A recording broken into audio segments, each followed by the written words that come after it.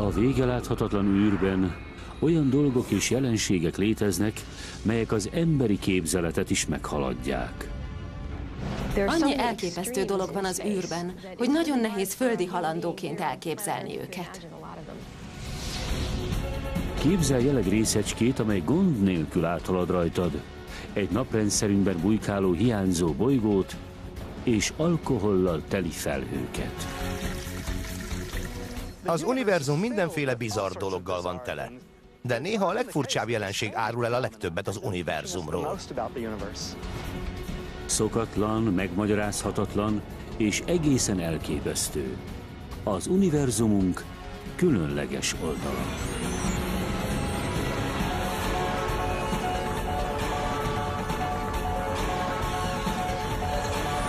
A világegyetem. Különös dolgok. A tejútrendszertől kezdve a több milliárd fényévnyire lévő messzi helyekig az űr tele van a legfurcsább dolgokkal. Nehéz megértenünk az űrben található dolgok egy részét, mivel annyira eltérnek a földi létformáktól. Egyre több kérdés merül fel, és a felfedezésre váró furcsaságok tárháza látszólag kifogyhatatlan az univerzumunkban. Az univerzum tele van titokzatos tárgyakkal és jelenségekkel, melyeket még ma sem értünk teljesen. Bármilyen furcsa is, a csillagászok olyan csillagközi felhőkre bukkantak, melyek a sörben is megtalálható alkohollal vannak tele.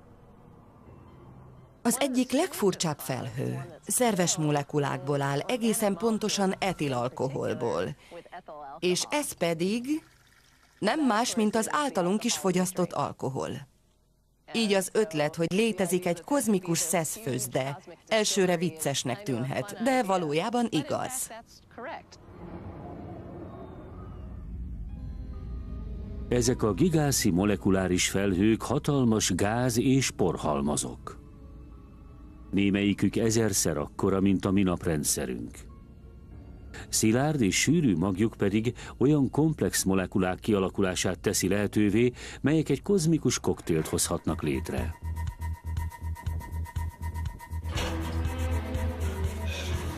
A sörfőzdében árpát, vizet és élesztőt használnak az alkohol elkészítéséhez, míg a csillagközi molekuláris felhőkben a porszemcsék biztosítják a helyet, ahol az egyszerűbb molekulák, mint molekuláris hidrogén, víz és a széndiokszid összegyűlnek, majd kémiai reakciók útján komplexebb molekulákká válnak, például etilalkohollá. Mikor a porszemcsék közelebb kerülnek a molekuláris felhő közepéhez, lassan elérik a magját formáló központi csillagot. Itt pedig eléggé felhevülnek ahhoz, hogy a komplex molekulák, mint például az etilalkohol egy része kipárologjon a csillagközi űrbe.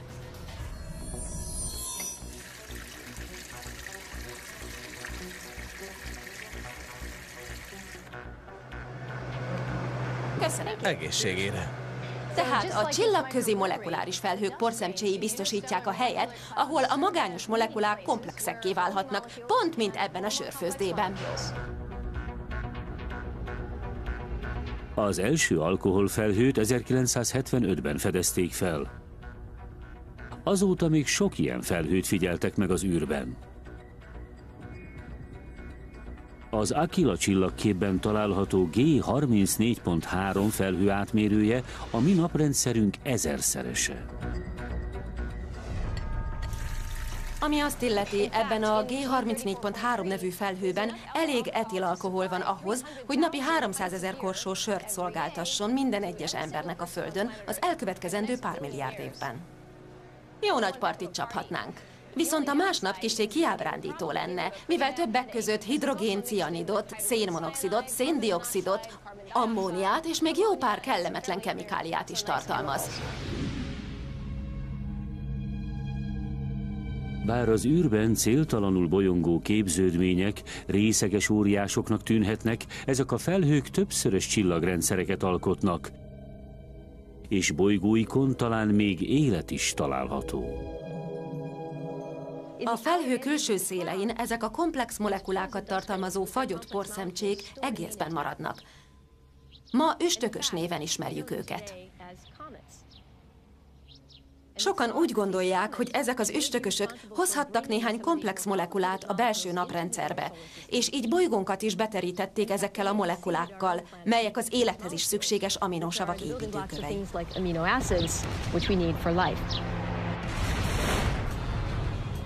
A nap és a föld egy ehhez hasonló csillagközi felhőből alakult ki. Ha megvannak a megfelelő szerves összetevők, megvannak az élethez szükséges összetevők is.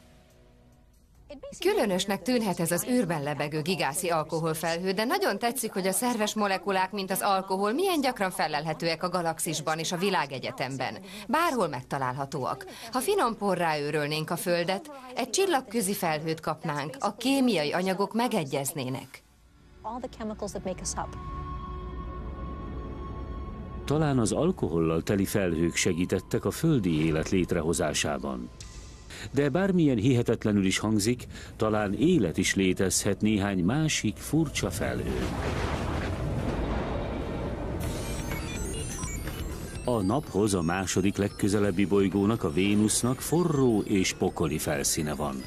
Viszont azokon a felhőkön, melyek 30 mérföldnyire lebegnek a felszínétől, a hőmérséklet elég hideg lehet az élethez.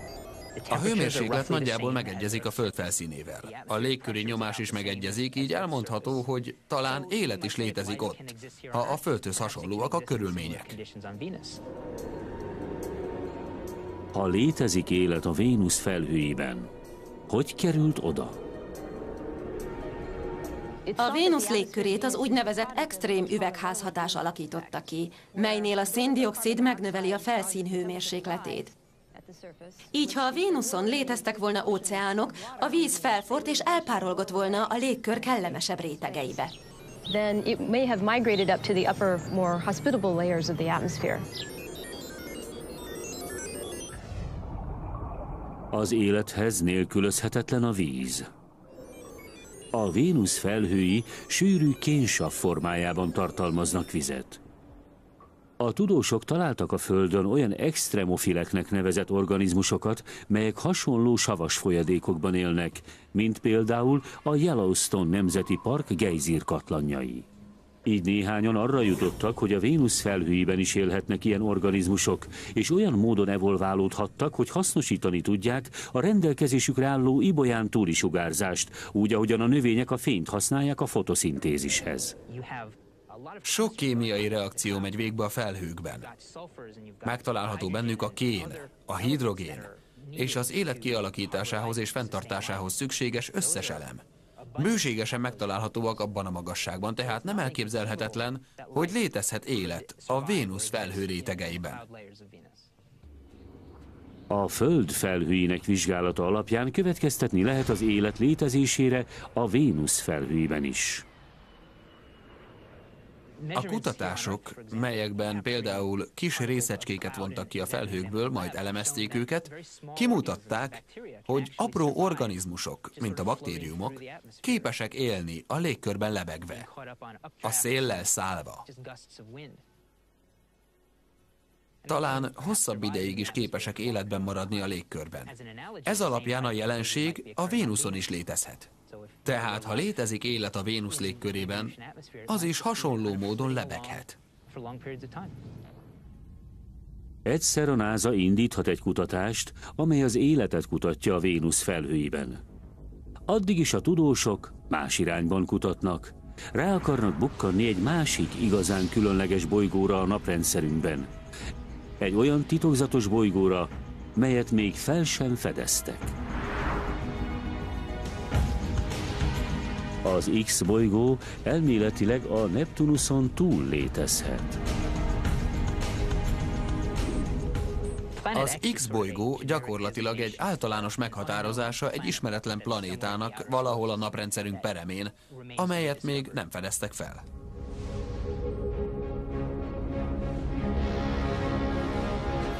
A csillagászok a Kuiper öv a Neptunus pályáján kívüli jeges sziklák vizsgálatánál kezdtek el gondolkodni egy hiányzó bolygó létezésén. A Kuiper öv peremét Kuiper szírtnek nevezik, mivel az űrsziklák sűrűsége jelentősen lecsökken ott. Ez vagy a Neptunus gravitációs vonzásának, vagy egy ismeretlen bolygónak köszönhető. Az egyik elmélet szerint azért fogyatkoznak itt meg az objektumok 50-55 csillagászati egység után, mert létezik valahol egy bolygó, amely hatással van rájuk abban a régióban.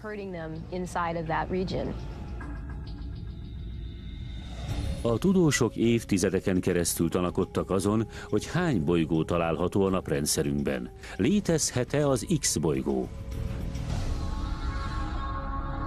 Felfedezésekor a Plutót gondolták az X bolygónak. Mostanában olyan objektumokat fedeztek fel a Kuiperövben, mint az Eris vagy a Sedna, melyek az X bolygó helyére utalhatnak.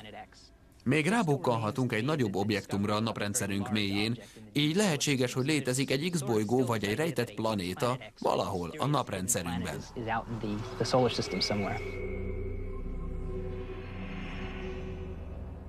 A tudósok hamarosan rájöhetnek a Kuiper szírt rejtélyére. Ha valóban létezik az X bolygó, meg fogják találni. A nagy felbontású mérőrendszerek új generációjával, melyek bármit képesek majd bemérni, hamarosan megtudhatjuk, hogy valóban létezik-e egy ilyen bolygó.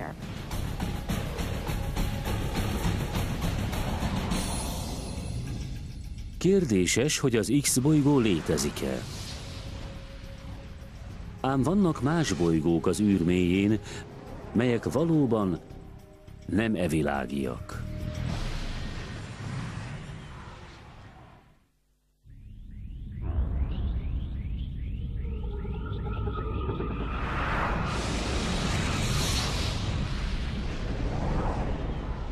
A naprendszerünk néhány igen szokatlan bolygónak adott hont, de az űr nem itt ér véget. Kifinomult távcsövekkel már közel 300 bolygót azonosítottak a naprendszerünkön kívül. Ezeket exobolygóknak hívjuk. A legérdekesebb exobolygók a pulzárbolygók. Ellentétben más bolygókkal, melyek egy napunkhoz hasonló csillag körül keringenek, ezek a bolygók egy gyorsan pergő neutroncsillag, más néven pulzár körül haladnak, amely pulzáló rádióhullámokat bocsát ki. A 90-es években a tudósok rögtön három pulzárbolygót is felfedeztek a Virgó csillagképben, körülbelül 900 fényévnyire egymástól. Véleményem szerint ezek a legfurcsább bolygók az egész univerzumban, mivel nagyon közel vannak a pulzárokhoz.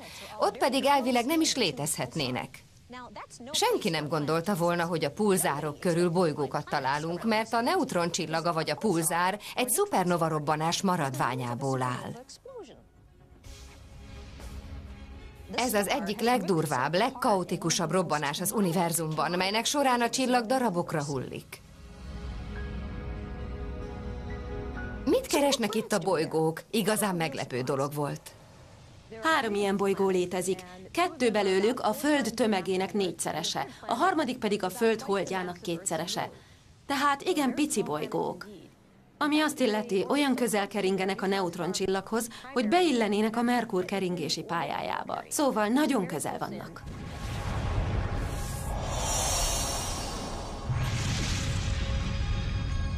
A fő kérdés, hogy hogyan élték túl a bolygók a szupernova robbanást. Ha a napunkkal történne ugyanez, a belső naprendszer bolygói porrá válnának.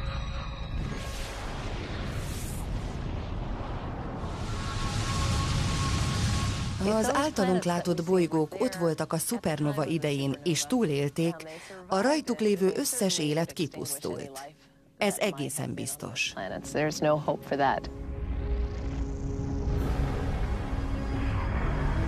A szupernova ereje, energiája és sugárzása biztos halált jelent minden számára. Ha ez a három bolygó nem keringett a csillag körül a szupernova idején, akkor hogy kerültek oda? Talán ezek a fura pulzár bolygók a szupernova robbanásból származó törmelékből jöttek létre. Talán az anyag nem repült elég messze, és egy törmelékkorongot hozott létre, melyből később kialakultak a bolygók.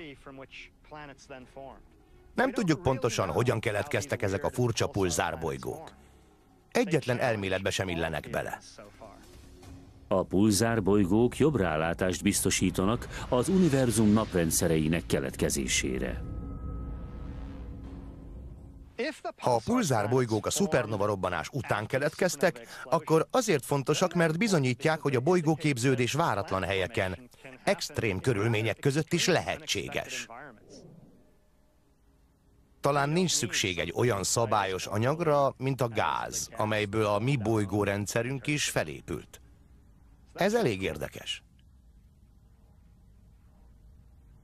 De ha a bolygók a robbanás előtt is ott voltak már a csillaghoz kötve, az abból a szempontból érdekes elmélet, mert példázza, hogy a bolygók néhány esetben kötött pályán maradnak.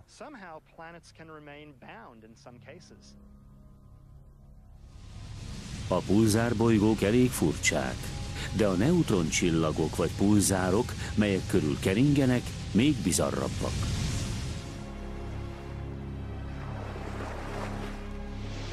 A neutroncsillag anyaga hihetetlenül tömör. Elképesztően nagy a sűrűsége. Ami azt illeti, annyira sűrű, mint egy atommag.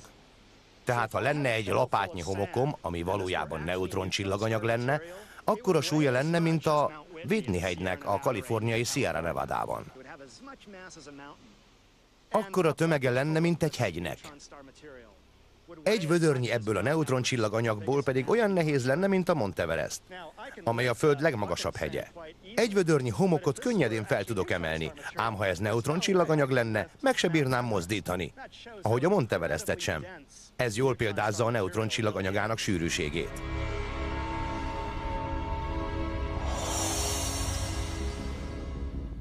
Két fajta neutroncsillag létezik.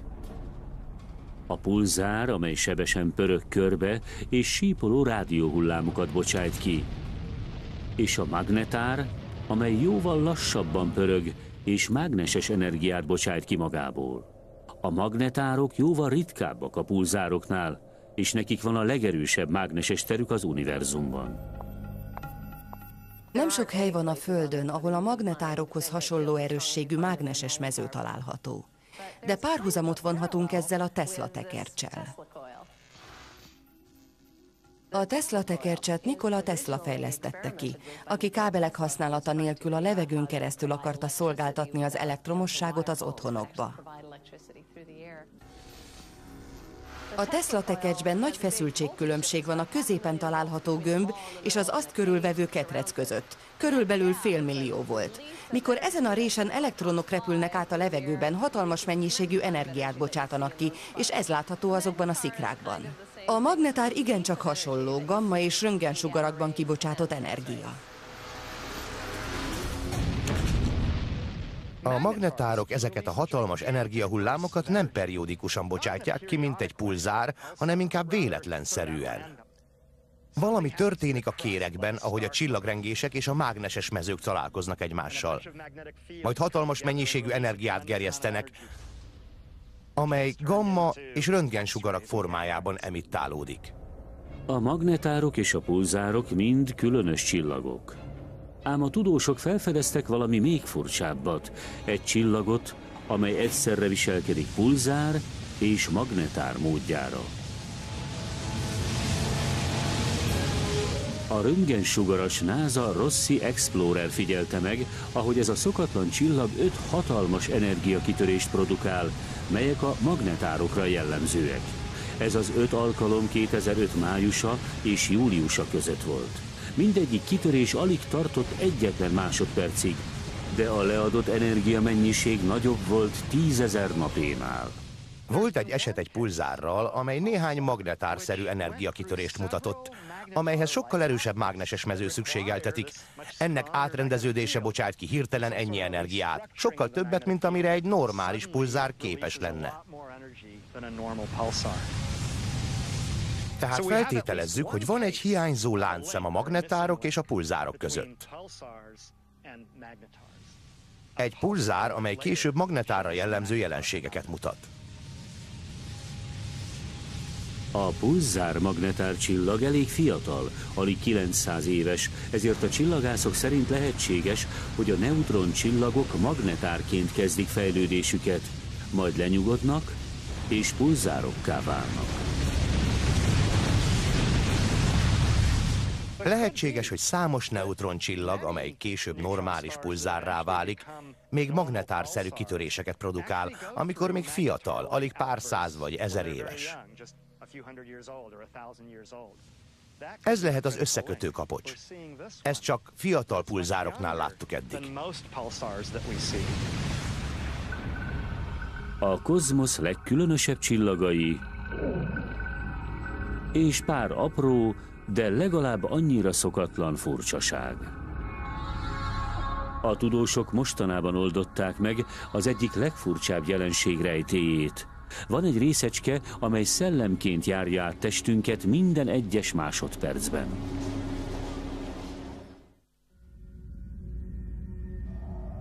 Az univerzum végtelen számú abnormális bolygót és csillagot tartalmaz.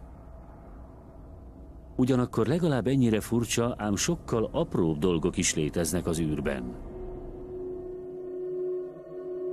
Az emberi test és az univerzum nagy része normál anyagból áll össze. Ez alapvetően négyfajta részecskéből áll. Az egyik ilyen részecske a kísértetszerű neutrinó. A neutrino a legfurcsább normál anyag az univerzumban. Ebben a pillanatban is másodpercenként 50 billió neutrino érkezik a napból, és halad át a testemen. Persze más csillagokból is érkeznek neutrinók a Földre. Ez a sok billió dolog pedig másodpercenként áramlik át rajtam, de ez észrevehetetlen. Egyáltalán nem lépnek velünk interakcióba. Van ez a neutrino nevű érdekes részecske. A neve olaszul annyit tesz, hogy apró és közömbös elhanyagolható tömegű. Szinte semmi anyagot nem tartalmaz. Ellenben sok energiát és közel fénysebességgel suhan át az űrön.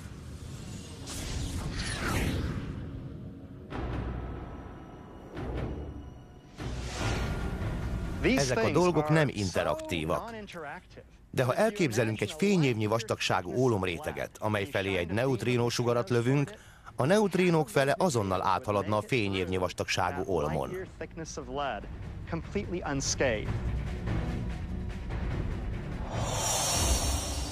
A neutrínókat a naphoz hasonló csillagokban lezajló nukleáris reakciók hozzák létre.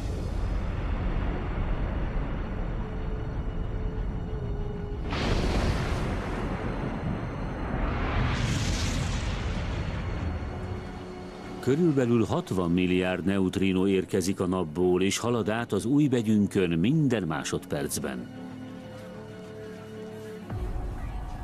Ám más helyekről is érkezhetnek neutrinók.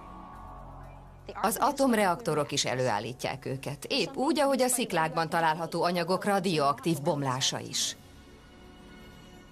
Néhány akkor keletkezik, amikor a kozmikus sugarak a légkörünkbe csapódnak, körülbelül 160 km per óra sebességgel.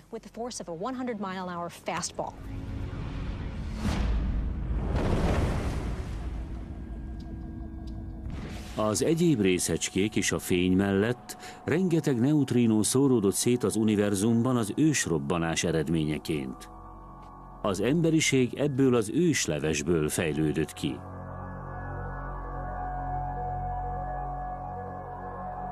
A neutrínók szokatlanul apró objektumok, de léteznek legalább ennyire furcsa, ám sokkal nagyobb dolgok.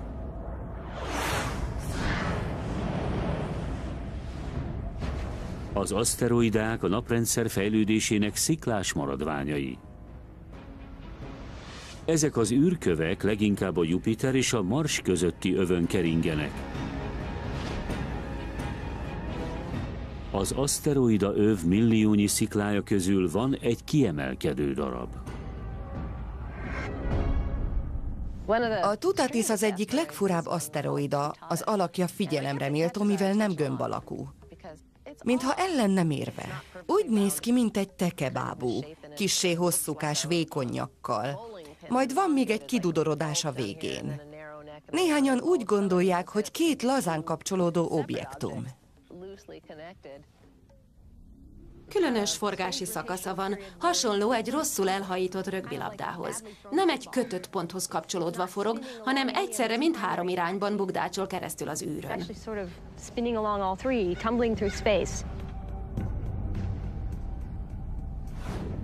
A Tutatis keringési pályája elliptikus, és emiatt néha bekerül az aszteroida övből a Föld keringési pályájára. Keresztezi a Föld keringési pályáját, és emiatt veszélyes is lehet ránk nézve. 2004. szeptemberében a Tutatis fenyegető közelségbe került. Alig 1 millió 600 ezer kilométerre a Földhold távolság négyszeresére közelítette meg a Földet. Ez nagyon közeli távolság egy aszteroidától. Nagy, és ha a Földbe csapódik, a légkörünk egyáltalán nem lassítja le. Pusztító lenne a Föld számára.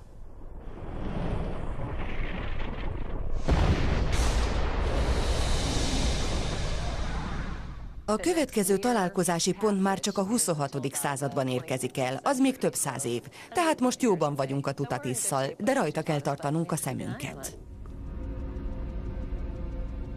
A Tutatis szokatlan aszteroida, de vannak sokkal nagyobb és különösebb kozmikus testek, melyek az univerzumban keringenek.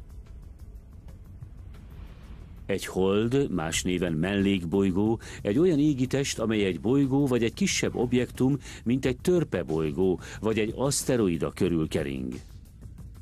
Csak a mi naprendszerünkben körülbelül 240 hold található.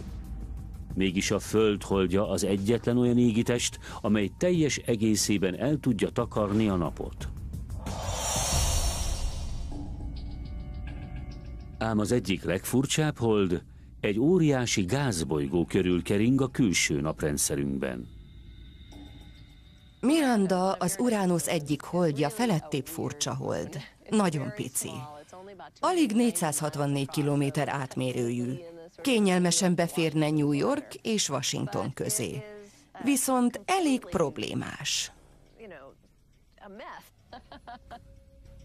A Mirandát naprendszerünk Frankenstein holdjaként is emlegetik, szaggatott felszíne miatt. A felszínét repedések és kanyonok tagolják, és úgy néz ki, mintha átment volna egy darálón. Bár csak 464 km az átmérője, 19,6 km mély kanyonok vannak rajta. Összehasonlításképp a Grand Canyon 446 km hosszú, és közel másfél kilométer mély. Azért tűnik a Miranda kiemelkedően furcsa holdnak a naprendszerben, mert úgy néz ki, mintha más bolygók maradékaiból varták volna össze. Felszínének kettős természete van. Egyes régiók síkságnak tűnnek, míg mások nagyon dinamikusnak. A Miranda régóta foglalkoztatja a tudósokat, mert nem tudják pontosan, hogyan jött létre. Az egyik elmélet szerint évmilliárdokkal ezelőtt az apró hold résztvevője volt egy kozmikus ütközésnek, melynek során ezernyi jeges, sziklás darabra tört. Ezek a részek aztán újból összeálltak, kialakítva a bolygó szedett-vedett felszínét, váltakozó mintázatát. Egy másik elmélet szerint vetődési folyamatok formálták a Miranda felszínét, melyeknél hatalmas erőhatások képződnek, nagy sziklatömböket átmozgatva.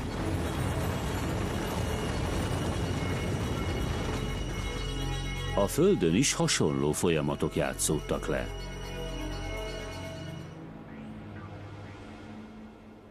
A Dél-Kaliforniában található Vázquez sziklák úgy alakultak ki, hogy a föld felszínén két kéreglemez egymásnak súrlódott, hatalmas nyomást generálva. A nyomás elvezetése miatt a felszín gyűrődni és horpadni kezdett, létrehozva ezeket a látványos ormokat. A Mirandán hasonló folyamatok mennek végbe. A hatalmas nyomóerő összegyűri, behorpasztja a felszínt, így jönnek létre az ott látható csúcsok és mélyedések. A Miranda csak egy a több millió megmagyarázhatatlan jelenség közül a tejútrendszerben, ám biztosra vehetjük, hogy nem a mi galaxisunk a legkülönösebb az univerzumban. Sok csillagás szerint az ultrafényes infravörös galaxisok, röviden az ulrigok a legfurcsábbak. Infravörös fényjel vizsgálva őket százszor ragyogóbbak bármely galaxisnál, így az univerzum legfényesebb pontjainak tekinthetők. Ezek az ultrafényes infravörös galaxisok hatalmas mennyiségű energiát bocsátanak ki a bennük zajló csillagképződések miatt.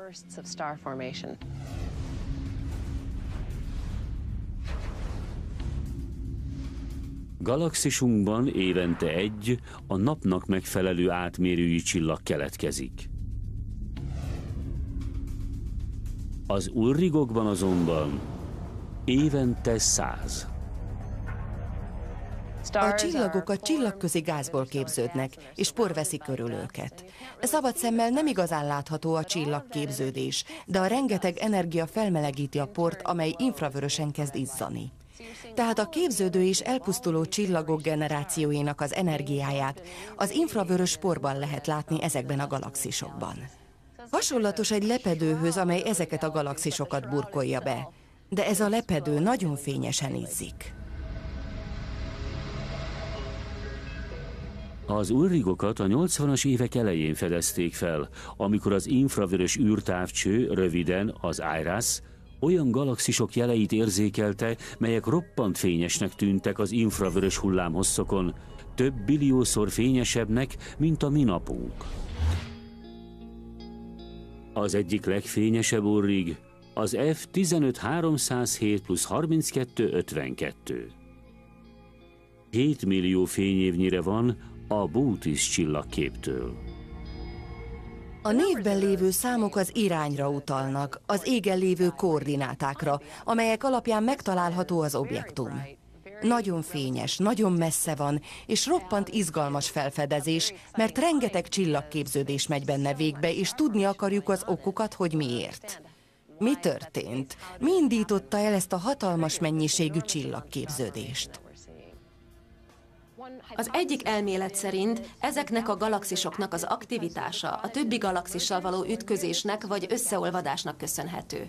Mikor egy galaxis közel kerül egy másikhoz, vagy esetleg össze is ütközik vele, nagy mennyiségű gáz sűrűsödik össze, és ez indíthatja be a csillagképződést, vagy a gáz a központi fekete lyukba áramolhat, felhevítve az azt körülvevő akreációs korongot. Ez a kutatási terület, amely ezekben a szokatlan galaxisokban zajló folyamatokra próbál választ találni, még mindig aktív kutatási terület. Az ultrafényes infravörös galaxisok közepén szupermasszív fekete lyukakra bukkantak. Ezek az űrnek olyan területei, ahol a gravitáció olyan erős, hogy még a fényt is elnyeli. Ám a fekete lyukaknak létezik egy még különösebb fajtája. A miniatűr fekete lyukak feltételezett objektumok, melyek még az atommagnál is kisebbek. A rendes és a szupermasszív társaikkal ellentétben a miniatűr fekete lyukakat még nem sikerült megfigyelni, de sok tudós hisz a létezésükben. A mini fekete lyukak nem túl szokatlanok. Valószínűleg itt is van egy az orrom előtt, meg itt és itt is. Valószínűleg körbevesznek. A mini fekete lyukak talán az ősrobbanás maradványai. A robbanás által az anyag apró, mikroszkóppal sem látható fekete lyukakba tömörült. Minél kisebb a fekete lyuk, annál gyorsabban veszít a tömegéből. Tehát ha lenne egy apró fekete lyuk, amelynek tömege megegyezne egy hegyjel, és az ősrobbanás után keletkezett volna, akkor mostanra 14 milliárd év elteltével elpárolgott volna. Annyira, hogy a maradék anyag egy hatalmas robbanás kíséretében tűnt volna el.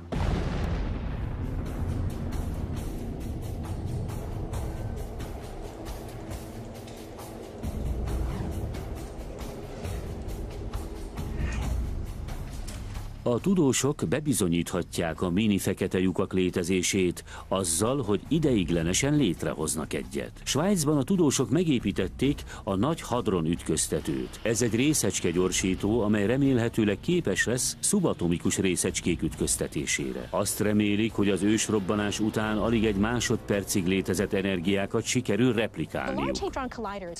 A nagy hadron ütköztető képes lesz a részecskéket nagy sebességgel ütköztetni egymással, és egy pillanatra nagy tömeg fog összesűrűsödni, nagyon pici helyen.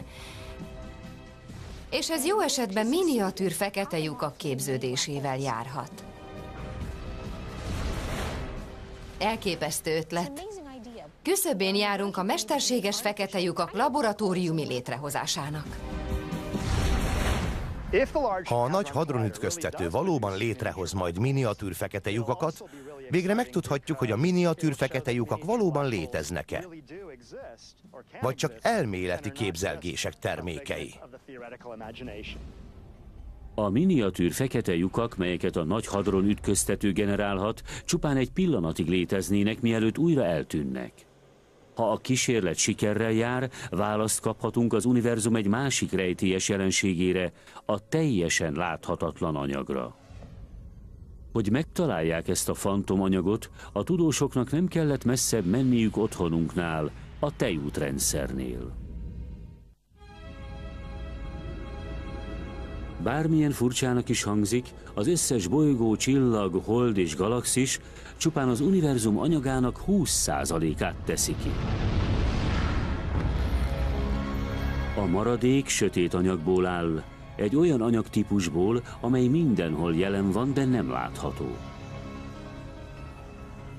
A sötét anyag létezésére a 30-as évek elején következtettek először. De akkoriban ez az elmélet kevés tudós győzött meg. Viszont az elmúlt két évtizedben egyre több bizonyítékra bukkantak ezzel a láthatatlan jelenséggel kapcsolatban.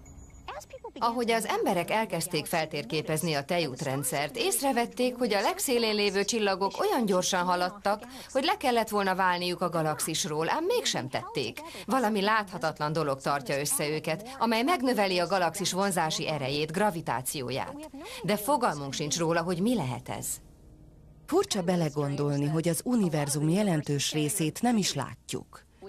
A sötét anyag érzékelhető, mert a gravitáció útján interakcióba lép a nem látható tömeggel. A galaxisok gyorsabban forognak, mint ahogy arra a tömegük gravitációjából következtetni lehetne. Ha pedig nem lenne gravitációs vonzás, a forró gázok elillannának. Tehát tudjuk, hogy több gravitációval jelen, mint amennyi a látható anyagé. Ezt pedig sötét anyagnak nevezzük. A sötét anyag mérésének egyik módszere a röntgen sugarakat kibocsátó forró gázok eloszlásának megfigyelése a sötét anyagban jelenlévő gravitációban. A másik pedig a gravitációs lencse hatás megfigyelése.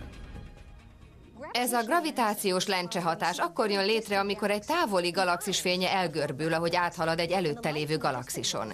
Ezt a torzítást a gravitáció idézi elő az űrben. Megfigyeltük, hogy vannak ezek a gravitáció által torzított galaxisok, amelyeket látunk, és ezeknek a központi tömege elégtelen a látott torzulásokhoz. Tízszer akkora tömegnek kellett volna jelen lennie, mint amennyit megfigyeltünk.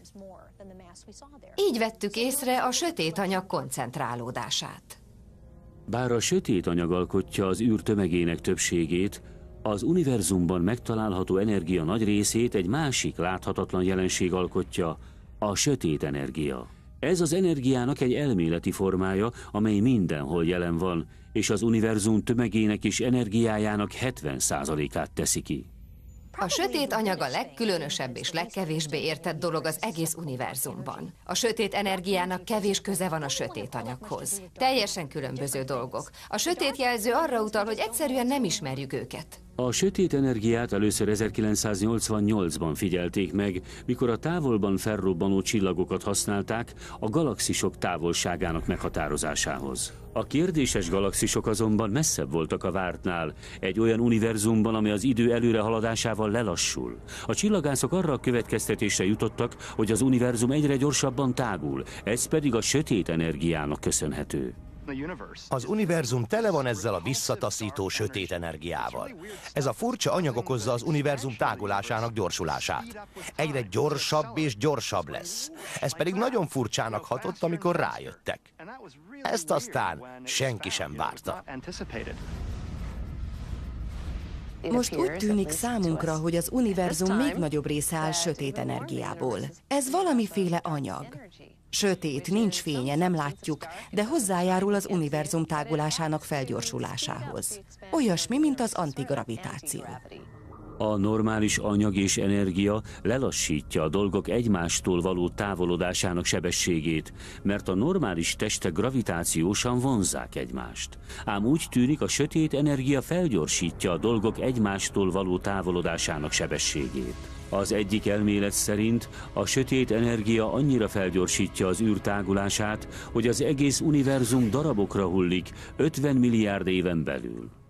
Ha valóban ez a helyzet, végül nem csak a galaxis csoportok szakadnak majd széjjel, hanem a galaxisok is széthullanak, ahogy a csillagok eltávolodnak egymástól.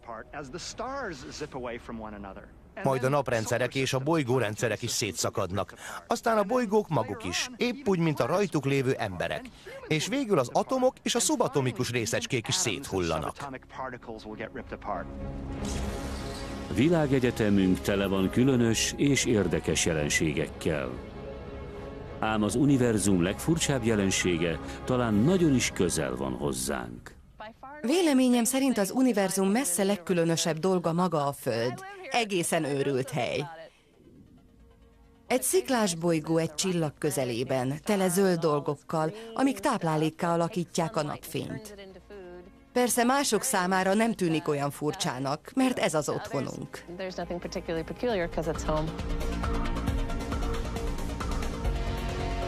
Az emberi lények a legkülönösebbek az univerzumban. Kétségkívül szokatlanok vagyunk, és nem is találtunk más hozzánk hasonló lényeket a világegyetemben, bár ez nem jelenti azt, hogy nincsenek is. De mindenképp különösek vagyunk.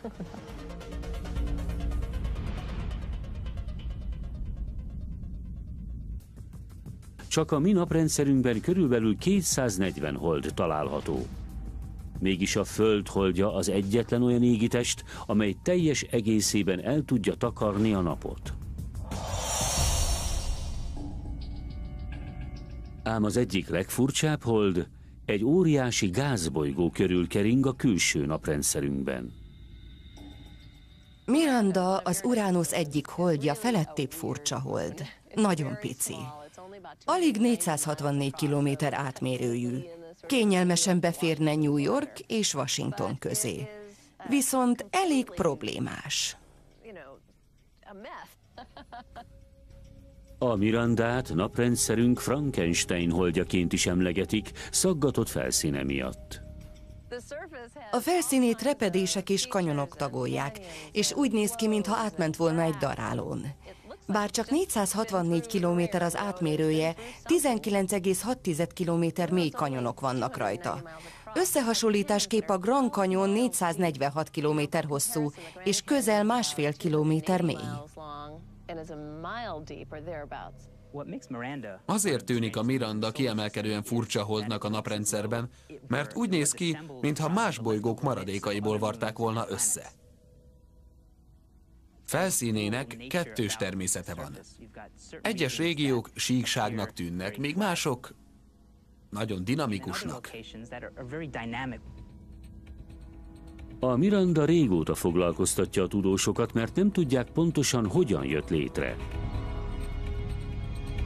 Az egyik elmélet szerint évmilliárdokkal ezelőtt az apró hold résztvevője volt egy kozmikus ütközésnek, melynek során ezernyi jeges sziklás darabra tört.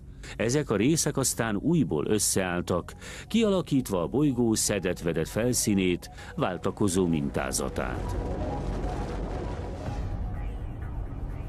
Egy másik elmélet szerint vetődési folyamatok formálták a Miranda felszínét, melyeknél hatalmas erőhatások képződnek, nagy sziklatömböket átmozgatva.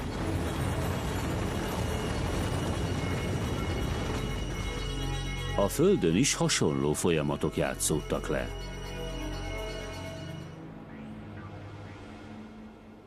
A Dél-Kaliforniában található Vázquez sziklák úgy alakultak ki, hogy a föld felszínén két kéreglemez egymásnak súrlódott, hatalmas nyomást generálva. A nyomás elvezetése miatt a felszín gyűrődni és horpadni kezdett, létrehozva ezeket a látványos ormokat. A Mirandán hasonló folyamatok mennek végbe. A hatalmas nyomóerő 7 millió fényévnyire van a Bootis csillagképtől. A névben lévő számok az irányra utalnak, az égen lévő koordinátákra, amelyek alapján megtalálható az objektum. Nagyon fényes, nagyon messze van, és roppant izgalmas felfedezés, mert rengeteg csillagképződés megy benne végbe, és tudni akarjuk az okokat, hogy miért.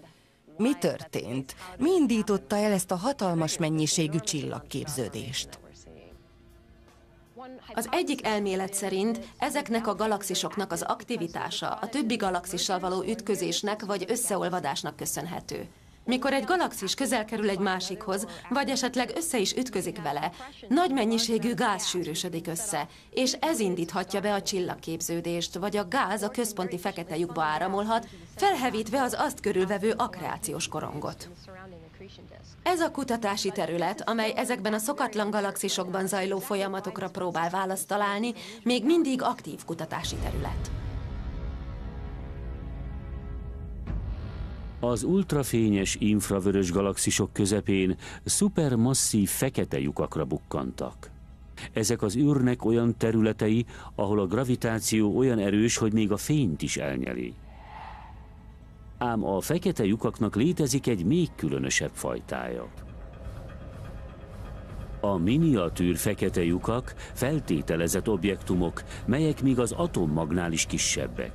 A rendes és a szupermasszív társaikkal ellentétben a miniatűr fekete lyukakat még nem sikerült megfigyelni, de sok tudós hisz a létezésükben. A mini fekete lyukak nem túl szokatlanok. Valószínűleg itt is van egy az orrom előtt, meg itt és itt is. Valószínűleg körbevesznek. A mini fekete lyukak talán az ősrobbanás maradványai. A robbanás által az anyag apró, mikroszkóppal sem látható fekete lyukakba tömörült. Minél kisebb a fekete lyuk, annál gyorsabban veszít a tömegéből. Tehát ha lenne egy apró fekete lyuk, amelynek tömege megegyezne egy hegyjel, és az ősrobbanás után keletkezett volna, akkor mostanra 14 milliárd év elteltével elpárolgott volna. Annyira, hogy a maradék anyag egy hatalmas robbanás kíséretében tűnt volna el.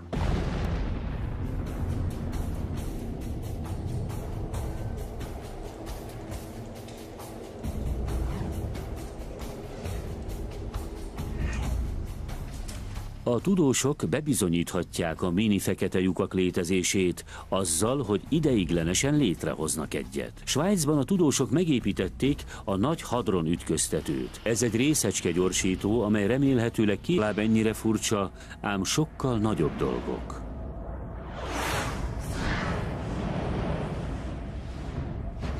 Az aszteroidák a naprendszer fejlődésének sziklás maradványai. Ezek az űrkövek leginkább a Jupiter és a Mars közötti övön keringenek. Az aszteroida öv milliónyi sziklája közül van egy kiemelkedő darab. A Tutatis az egyik legfurább aszteroida, az alakja figyelemre méltó, mivel nem gömb alakú. Mintha ellen nem érve. Úgy néz ki, mint egy tekebábú, kissé hosszúkás vékonyakkal. Majd van még egy kidudorodás a végén. Néhányan úgy gondolják, hogy két lazán kapcsolódó objektum. Különös forgási szakasza van, hasonló egy rosszul elhajított rögbilabdához. Nem egy kötött ponthoz kapcsolódva forog, hanem egyszerre mind három irányban bugdácsol keresztül az űrön.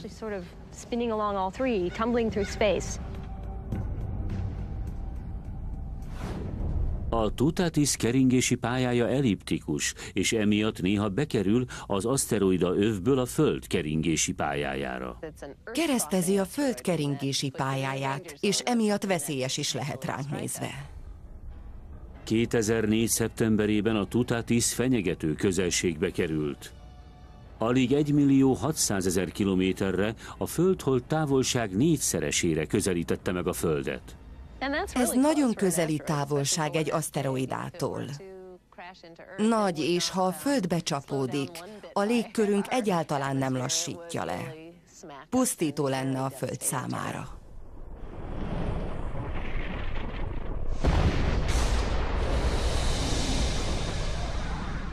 A következő találkozási pont már csak a 26. században érkezik el, az még több száz év, tehát most jóban vagyunk a Tutatisszal, de rajta kell tartanunk a szemünket. A Tutatis szokatlan aszteroida, de vannak sokkal nagyobb és különösebb kozmikus testek, melyek az univerzumban keringenek. Egy hold, más néven mellékbolygó, egy olyan égitest, amely egy bolygó vagy egy kisebb objektum, mint egy törpebolygó vagy egy aszteroida körül kering. Csak a mi naprendszerünkben körülbelül 240 hold található.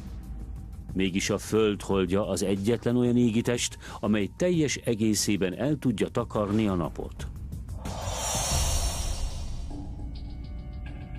Ám az egyik legfurcsább hold egy óriási gázbolygó körül kering a külső naprendszerünkben. Se. Ez a gravitációs lencse hatás akkor jön létre, amikor egy távoli galaxis fénye elgörbül, ahogy áthalad egy előtte lévő galaxison. Ezt a torzítást a gravitáció idézi elő az űrben. Megfigyeltük, hogy vannak ezek a gravitáció által torzított galaxisok, amelyeket látunk, és ezeknek a központi tömege elégtelen a látott torzulásokhoz. Tízszer akkora tömegnek kellett volna jelen lennie, mint amennyit megfigyeltünk. Így vettük észre a sötét anyag koncentrálódását. Bár a sötét anyag alkotja az űr tömegének többségét, az univerzumban megtalálható energia nagy részét egy másik láthatatlan jelenség alkotja, a sötét energia. Ez az energiának egy elméleti formája, amely mindenhol jelen van, és az univerzum tömegének és energiájának 70%-át teszi ki. A sötét anyag a legkülönösebb és legkevésbé értett dolog az egész univerzumban. A sötét energiának kevés köze van a sötét anyaghoz. Teljesen különböző dolgok. A sötét jelző arra utal, hogy egyszerűen nem ismerjük őket. A sötét energiát először 1988-ban figyelték meg, mikor a távolban felrobbanó csillagokat használták a galaxisok távolságának meghatározásához. A kérdéses galaxisok azonban messzebb voltak a vártnál, egy olyan univerzumban, ami az idő előre haladásával lelassul. A csillagászok arra a következtetésre jutottak, hogy az univerzum egyre gyorsabban tágul, ez pedig a sötét energiának köszönhető. Az univerzum tele van ezzel a visszataszító sötét energiával. Ez a furcsa anyag okozza az univerzum tágulásának gyorsulását. Egyre gyorsabb és gyorsabb lesz. Ez pedig nagyon furcsának hatott, amikor rájöttek. Ezt aztán senki sem várta. Most úgy tűnik számunkra, hogy az univerzum még nagyobb része áll sötét energiából. Ez valamiféle anyag. Sötét, nincs fénye, nem látjuk, de hozzájárul az univerzum tágulásának felgyorsulásához. Olyasmi, mint az antigravitáció. A normális anyag és energia lelassítja a dolgok egymástól való távolodásának sebességét, mert a normális testek gravitációsan vonzák egymást. Ám úgy tűnik, a sötét energia felgyorsítja a dolgok egymástól való távolodásának sebességét. Az egyik elmélet szerint a sötét energia annyira felgyorsítja az űr tágulását, hogy az egész univerzum darabokra hullik 50 milliárd éven belül. Ha valóban ez a helyzet, végül nem csak a galaxis csoportok szakadnak majd széjjel, hanem a galaxisok is széthullanak, ahogy a csillagok eltávolodnak egymástól. Majd a naprendszerek és a bolygórendszerek is szétszakadnak. Aztán a bolygók maguk is, épp úgy, mint a rajtuk lévő emberek.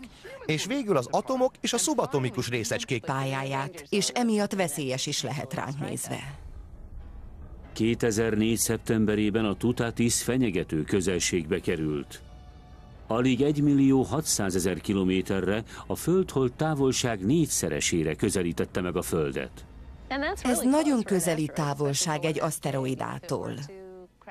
Nagy, és ha a Földbe csapódik, a légkörünk egyáltalán nem lassítja le. Pusztító lenne a Föld számára.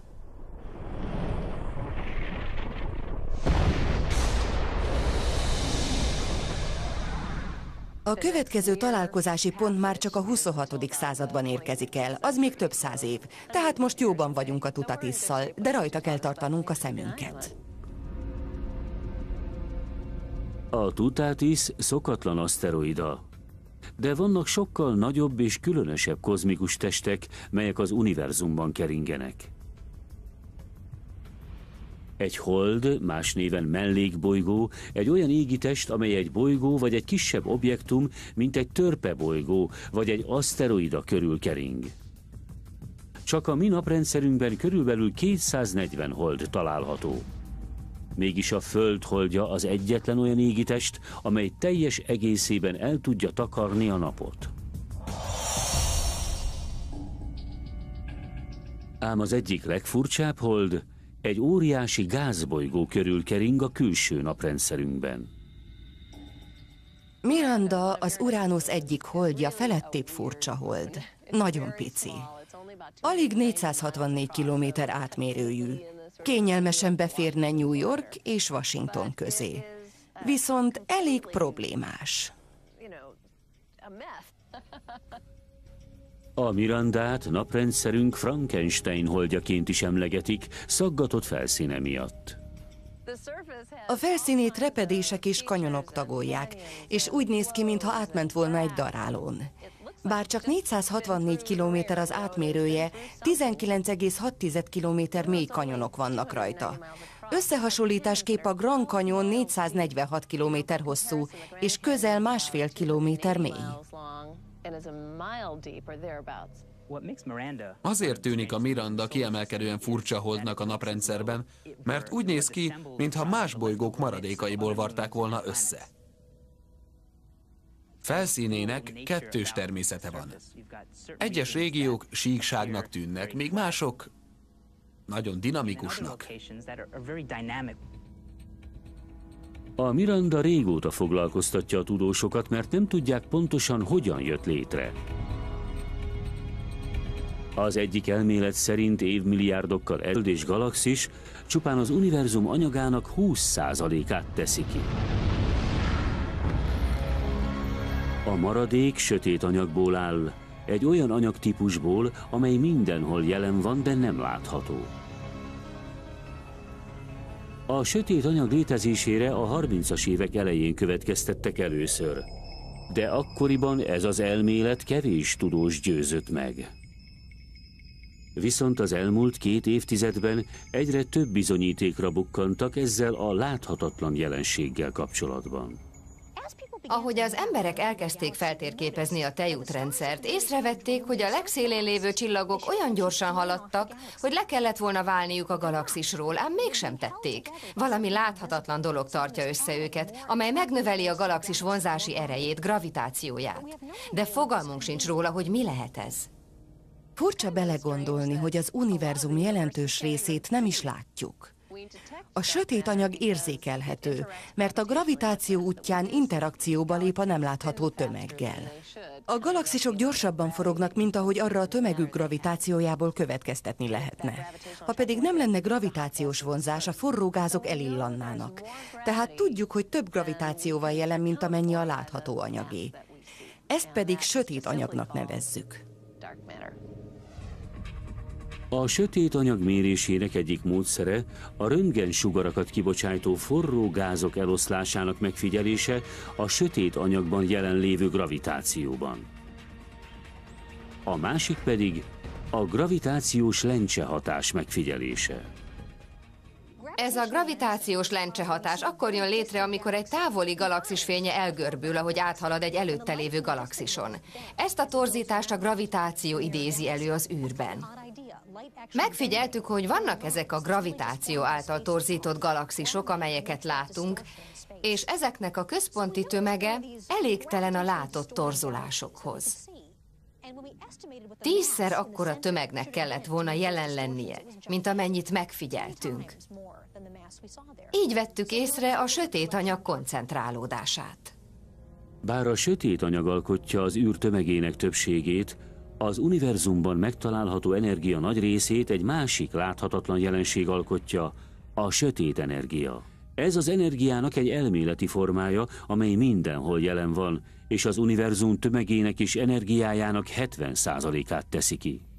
A sötét anyag a legkülönösebb és legkevésbé értett dolog az egész univerzumban. A sötét energiának kevés köze van a sötét anyaghoz. Teljesen különböző dolgok. A sötét jelző arra utal, hogy egyszerűen nem ismerjük őket. A sötét energiát először 1988-ban figyelték meg. Nevadában. Akkor a tömege lenne, mint egy hegynek.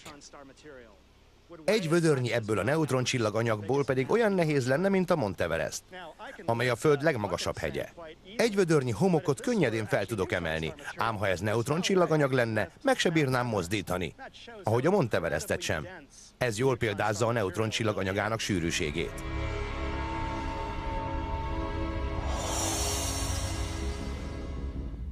Két fajta neutroncsillag létezik.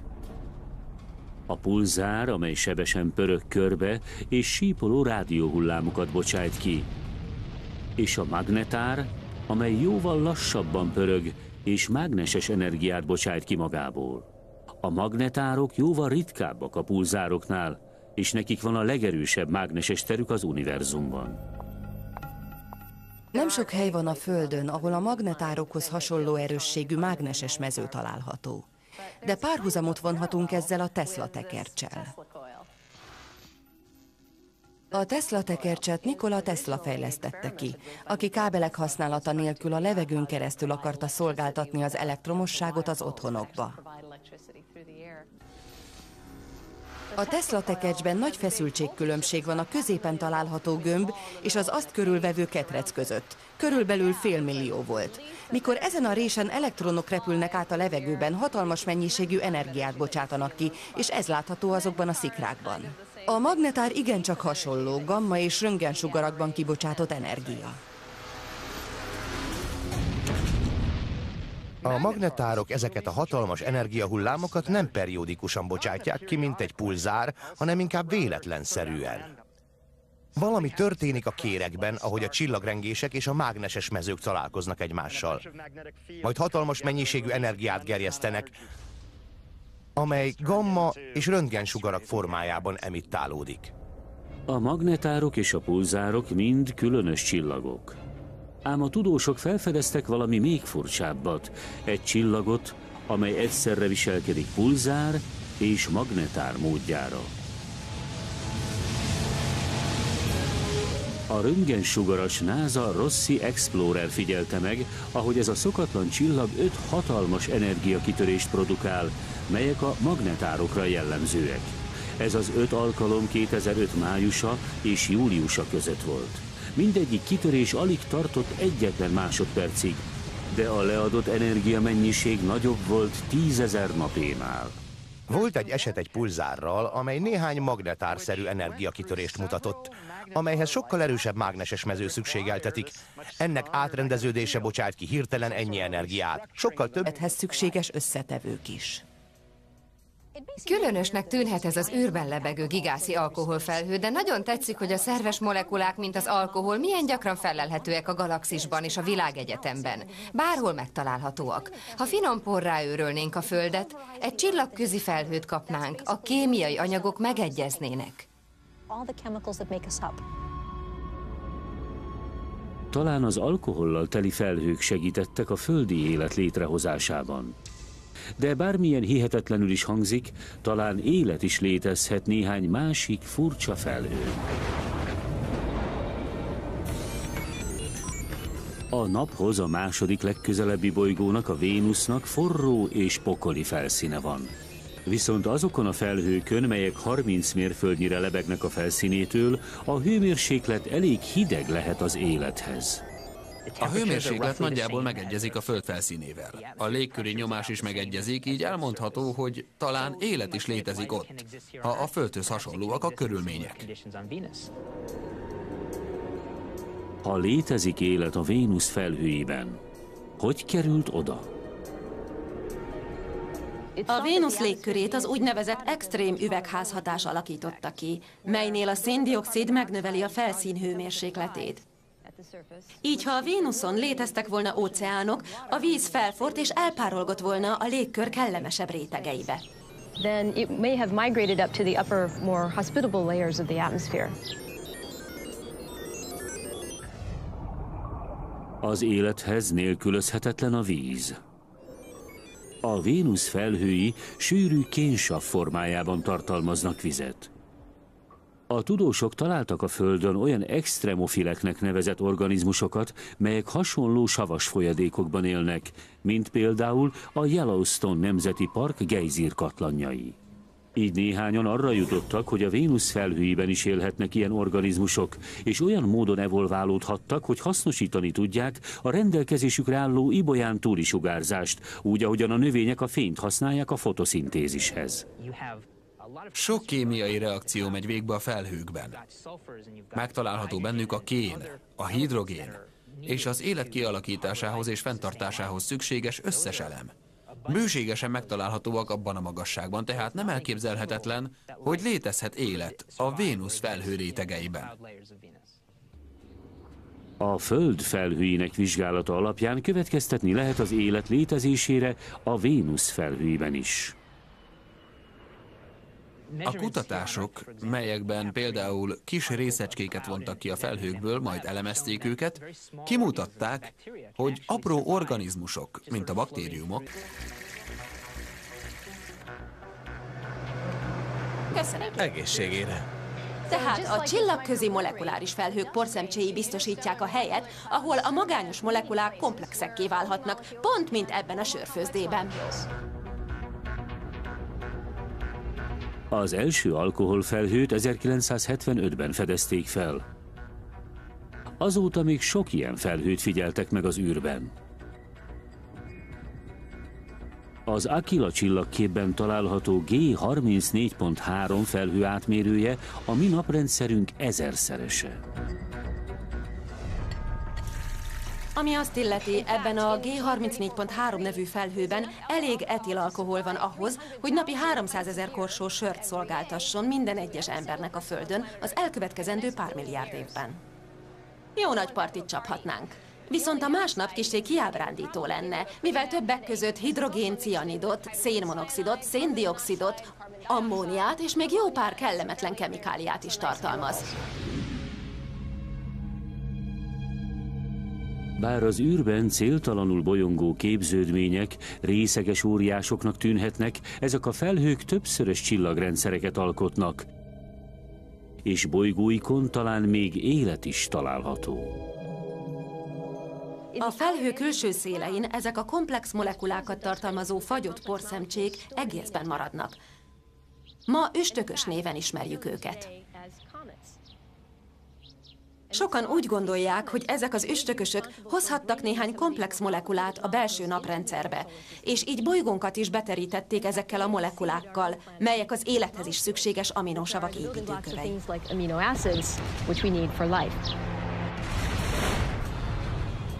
A nap és a föld egy ehhez hasonló csillagközi felhőből alakult ki. Ha megvannak a megfelelő szerves összetevők, megvannak az élethez szükséges összetevők is. Különösnek tűnhet ez az űrben lebegő gigászi alkoholfelhő, de nagyon tetszik, hogy a szerves molekulák, mint az alkohol, milyen gyakran felelhetőek a galaxisban és a világegyetemben. Bárhol megtalálhatóak. Ha finom porrá őrölnénk a Földet, egy csillagközi felhőt kapnánk, a kémiai anyagok megegyeznének. Talán az alkohollal teli felhők segítettek a földi élet létrehozásában. De bármilyen hihetetlenül is hangzik, talán élet is létezhet néhány másik furcsa felhő. A naphoz a második legközelebbi bolygónak, a Vénusznak forró és pokoli felszíne van. Viszont azokon a felhőkön, melyek 30 mérföldnyire lebegnek a felszínétől, a hőmérséklet elég... a Földre. Ez a sok billió dolog pedig másodpercenként áramlik át rajtam, de ez észrevehetetlen. Egyáltalán nem lépnek velünk interakcióba. Van ez a neutrino nevű érdekes részecske. A neve olaszul annyit tesz, hogy apró és közömbös. Elhanyagolható tömegű. Szinte semmi anyagot nem tartalmaz. Ellenben sok energiát és közel fénysebességgel suhan át az űrön.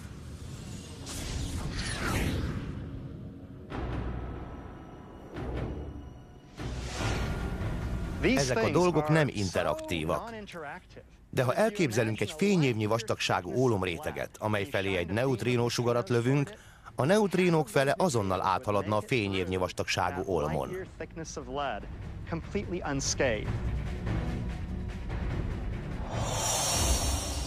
A neutrínókat a naphoz hasonló csillagokban lezajló nukleáris reakciók hozzák létre.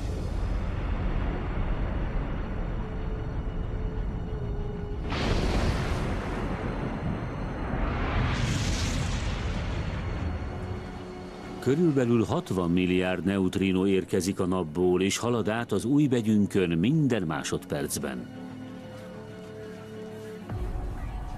Ám más helyekről is érkezhetnek neutrinók. Az atomreaktorok is előállítják őket, épp úgy, ahogy a sziklákban található anyagok radioaktív bomlása is. Néhány akkor keletkezik, amikor a kozmikus sugarak a légkörünkbe csapódnak, körülbelül 160 km per óra sebességgel.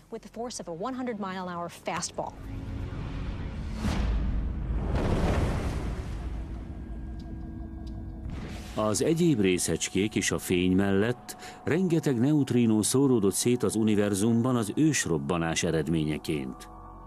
Az emberiség ebből az őslevesből fejlődött ki.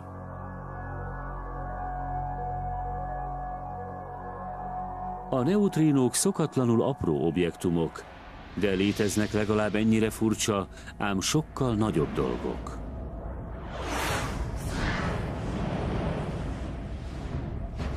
Az aszteroidák a naprendszer fejlődésének sziklás maradványai. Ezek az űrkövek leginkább a Jupiter és a Mars közötti övön keringenek. Az aszteroida öv milliónyi sziklája közül van egy kiemelkedő darab. A Tutatis az egyik legfurább aszteroida, az alakja figyelemre méltó, mivel nem gömb alakú. Mintha ellen nem érve. Úgy néz ki, mint egy tekebábú, kissé hosszúkás vékonyakkal. Majd van még egy